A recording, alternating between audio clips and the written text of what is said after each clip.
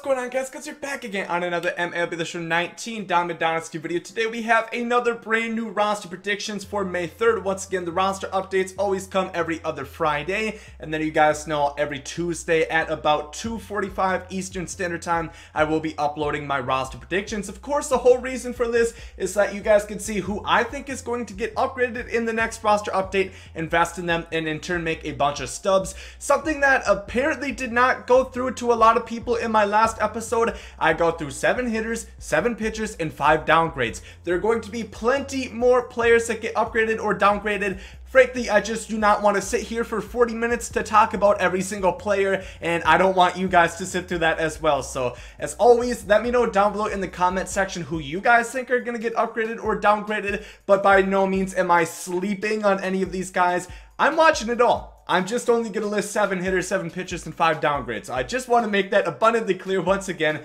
But starting off with our first one, of course, we are over with the Orioles. And this is a guy who I did have on there last time and did get upgraded. That is Trey Mancini. I once again forgot that I should put myself up here for the time being. Um, Trey Mancini did go up to a 74, but I think he is going to go up to a silver, at least a 75 overall. Um, keep in mind that all of these stats are reflected within the last 30 games, so just keep that in mind. For Trey Mancini, uh, he has 25 strikeouts and 10 walks versus lefties hitting 424, 758 slug, 2 home runs, 7 extra base hits. Righties 301, 534 slug, uh, 4 home runs, 9 extra base hits. So I think his contact and power versus lefties could definitely go up about plus 5 per side, and that alone will get him to a 75 overall and make him a silver. And the big thing for that is with the Orioles, silver players are very important because they only have two so Trey Mancini's price is going to rise quite substantially. So I definitely would recommend to go ahead and invest in him.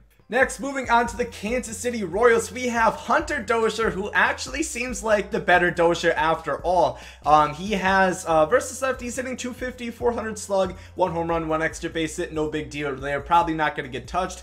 Righties, however, hitting 400, 833 slugs, six home runs, 12 extra base hits. I think he definitely could get some big upgrades there. Maybe around like a plus seven per side. Uh, maybe they'll throw him, you know, a power or two versus lefties as well. He does have 16 strikeouts and 13 walks, so maybe that plate discipline gets raised a little bit. I'll say a 71, maybe a 72 overall for Hunter Dozier. I think he has a chance of getting silver this year, so I would go ahead and invest in him. Moving on to my hometown Minnesota Twins, we have Max Kepler right here, who he hit three home runs in three straight at bats, so that's something alone tells you he is definitely hot. Uh, versus lefties, 188 batting average, 375 slug, does not matter, that's not going to get touched. Versus righties, however, 313, 656 slug, 6 home runs, 10 extra base hits. I think once again his platoon stats versus righties are going to go up quite a bit, and I think that will raise him to a 75 overall silver. I think Max Kepler will become another silver on the Twins. Of course, it might just be the Orioles effect, but the Twins, they're rolling right now. They are definitely doing a very good job on offense and currently are in first place in the American League Central Division. Moving on to the Astros, we have Josh Reddick right here, who is batting 308, 615 slug, 1 home run, two extra bases versus lefties, 354, 477 slug, two home runs, and four extra base hits versus righties, 10 strikeouts and eight walks. Josh Reddick is a guy who at times I thought would go to a gold last year, but at age 32, I think he might get there this time, but I'm going to say just a 79 overall upgrade for him right now. I think he has a chance of getting gold later on, but I don't think they'll just uh, not quite give it to him yet, but I think a 79 overall upgrade for Josh Reddick is definitely in order. Moving on to everybody's favorite Met, we got Peter Alonso, Pete Alonso, who once again did uh, get upgraded last week, but he is, or the last roster upgrade, but he's just doing so well. I think he does deserve another upgrade on top of that. Lefties 385, 1,038 slugging percentage, 4 home runs, extra, uh, 8 extra base hits, 279 versus righties, 574 slug, 5 home runs, 10 extra base hits, 29 strikeouts, 13 walks. That probably won't get touched. But his power versus lefties and power versus righties, I think, could get moved in, especially his contact versus lefties at 385 batting average. I think he deserves a 75 overall silver as well. Of course, Vlad Jr. just came into the game, never played an MLB at bat before, 82 overall. Pete Alonso killing it in the majors so far. I think a silver card is in order for him.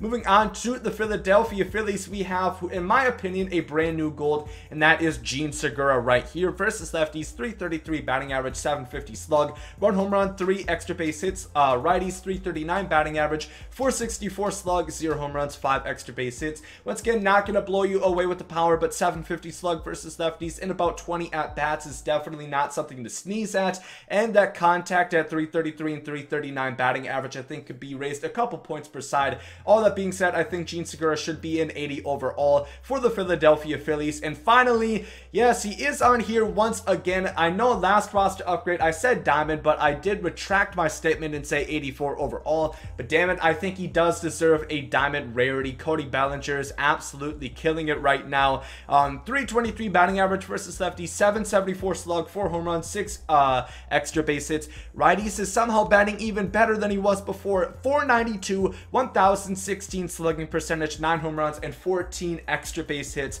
13 strikeouts, 16 walks. There's not really much else to say at this point. I think his contact versus lefties get raised. His contact versus righties definitely needs a boost. And even his power, I think an 85 overall is going to happen for Cody Bellinger. And he is going to be a brand new diamond that we are going to be looking at. And that is going to do it for the hitters. That is move on to our pitchers. We have another guy who did get upgraded. And that is, of course, Tyler Glasnow of my first place Major League leading Tampa Bay Rays. Um, 31 innings pitched, 1.74 ERA, 191 opponent batting average, 0.87 whip, walks and hits per inning pitched,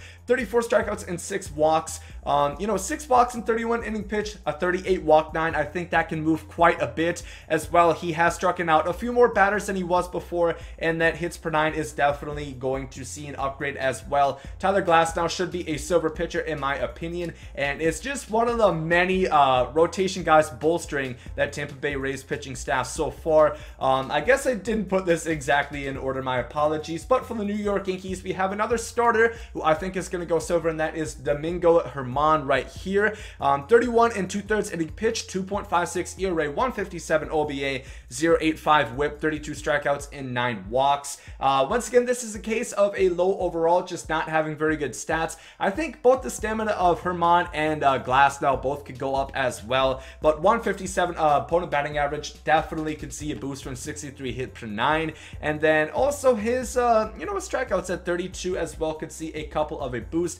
I'll say a 75, maybe a 76 overall, but nonetheless, German should be a new silver pitcher. The Yankees creeping up on the race, even though they have so many injuries, still doing a really good job out there. The Detroit Tigers, um, we got Shane Greene right here, their closing pitcher. In 12 innings pitched, he has a 1.5 ERA, 122 opponent batting average, 0.67 whip, 13 strikeouts, and 3 walks. I think he is going to be another one, another brand new silver rarity pitcher that we are going to see in this next roster upgrade.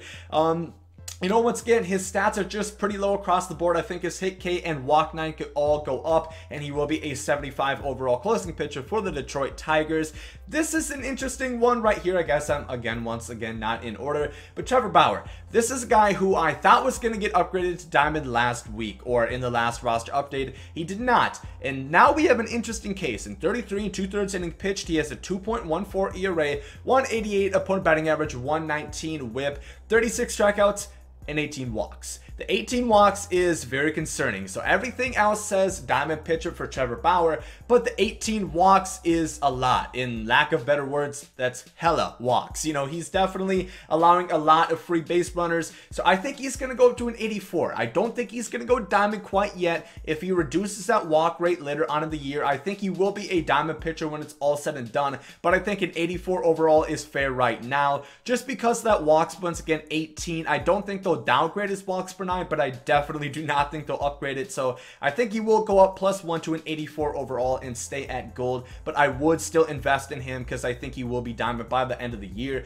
For the Miami Marlins, probably didn't expect to see a guy from this team. Um, we have Caleb Smith right here. 29 innings pitched, 217 ERA, 167 OBA, 083 whip, 37 strikeouts to 7 walks. Um, his hit and K9 could both go up quite a bit. His stamina as well. A lot of guys seem to have really low stamina. Maybe that's Just because, um, I don't know. It just seems like a lot of these lower overall players have really low stamina. Um, but even his walk nine as well, seven walks and about 30 innings pitched, I think could be raised a couple points. I'll say 77 overall for Caleb Smith could be a potential gold pitcher later on this year if he does keep it up. Definitely going to go ahead and keep watching him throughout the year.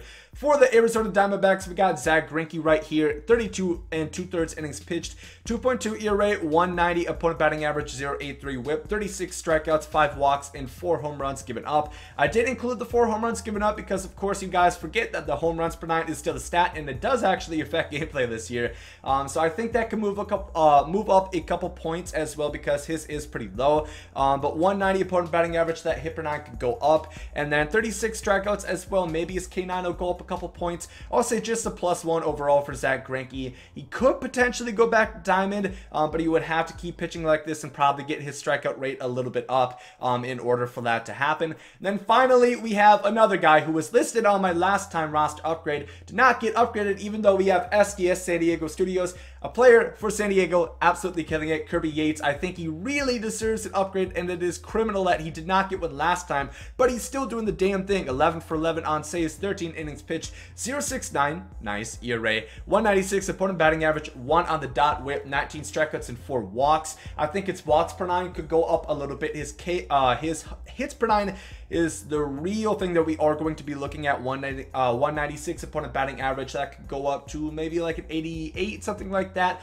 I'll say an 82, maybe an 83 if they do want to go liberal and make up for not giving him an upgrade last week. Um, but Kirby Yates, the Padres are actually doing pretty well this year he has a chance of going diamond. He would have to, uh, you know, help out that home run and walk rate a little bit later on this year. But he is a, you know, a low-key guy that I could see going diamond later on this year. But that is all for the roster upgrades. Now let's go on to our four or our five downgrades that we do have. Starting off the Cleveland Indians. Last time we had Corey Kluber. This time we got Carlos Carrasco. And uh, yeah, 27 and two-thirds innings pitched. He has a 5.86 ERA, 295 opponent batting average, 1.45 WHIP. He has has 41 strikeouts and 7 walks. So that's really interesting. He is one of the top guys in strikeouts in the last 30 days, but everything else would say downgrade. 295, almost 300 opponent batting average that is not very good. So I think his hit 9 is going to go down. And I also think his walk 9 would maybe go down a few points at 7 walks in just over 27 innings pitched.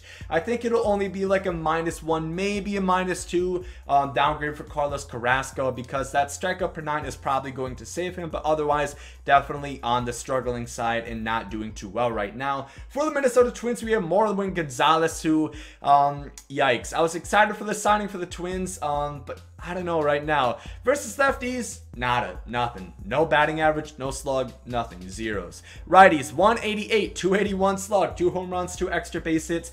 I'm going to say he is going to go bronze, a 74, maybe even a 73 overall for Marwin Gonzalez. I hate to see it because he was one of my favorite utility guys or, you know, one of my favorite players for the Astros World Series run in 2017, but he is really struggling right now and not helping the Twins cause at all. Now, here's where we get into something very interesting. We have a diamond pitcher for the Mets, and I'm just going to bring up one guy because my video is not too long right now. Max Scherzer is a possible downgrade. I could see him getting a minus one. I'm not going to go deep into it, but I'm just going to say he could be getting a minus one. That is all I'm going to say about that one. Noah Syndergaard right here. 28 innings pitched, 6.43 ERA, 297 opponent batting average, 1.54 uh, whip, 32 strikeouts, and 10 walks. Noah Syndergaard is really struggling right now for the Mets. I think 10 walks, his walks per nine could go down, and then about a 300 opponent batting average as well. That hit per nine could go down as well. I don't think he's going to go gold. I think that'll be a bit of an overreaction, especially considering we haven't actually played too much baseball yet. I think he'll be an 85 overall and stay at a diamond, but he does have to pick up the pace if he does want to maintain the diamond rarity. And here is where I think we do have our first brand new gold player dropping from diamond to gold. And that is going to be Kris Bryant. And I hate to see it because I am a fan of Kris Bryant, but he, uh, I can't deny the facts, you know. Uh, versus lefties hitting 211, 474 slug, one home run, three extra base hits. That uh, slug is decent. You know, that might keep his power versus lefties at where it is. Maybe still down a few points though, 474 compared to about 90 power versus lefties. Then uh, versus righties, 233 batting average, 370 slug, one home run, eight total extra base hits. I think the contact for both sides probably is going to have to go down a few points, and even the power versus righties as well from a 73. I think he's going to go down to an 84 overall. I don't think they're going to kill him too much. I know he is still figuring it out from his injuries that he did have last year, but at some point you got to say, you know, is it really... Uh, you still have to, you know, it's a realistic roster upgrade. It's a realistic attribute, and that has to reflect his play that he has been doing. And I think an 84 overall gold tier is fair for him. Although I hate to see it, I do think uh, Kris Bryant does deserve to go gold in the next roster update. And then finally, for our last downgrade, we have AJ Pollock right here. Versus left, he's hitting 259. That is it. No extra base hits at all. Versus righties, 179, 284 slug, one home run, four extra base hits. I think honestly, about everything down the line could go down a couple points. I'll say a 76 brand new overall for AJ Pollock, maintaining maintaining at a silver, but not what I was hoping for for the Dodgers. They're still doing really well, but Pollock has not been a very good replacement for, you know, Matt Kemp and Yasiel Puig, who they did lose in the Cincinnati's red trade last year, or in the offseason, rather. Um, that is going to do it for the roster update, May 3rd roster upgrade predictions. Once again, seven hitters, seven pitchers, five downgrades. That is by no means not everybody that is going to get upgraded or downgraded. So if you have your own thoughts, let me know down below in the comment section but I'm not sleeping on them. I will look through every single team, every single player, look at their stats. So trust me, I'm not sleeping. I'm very aware. But once again, let me know down below in the comment section who you guys think is going to go up or down. Um, I am back from vacation. Once again, you guys can see I'm red, I'm burnt, I'm tan, whatever you want to say it. But I did enjoy the hell out of Orlando, and I'm looking forward to definitely going back there very, very soon. Uh, but yeah, if you guys did enjoy this video, make sure to like down below. Hope you guys have a great day. And there, guys, so, yay!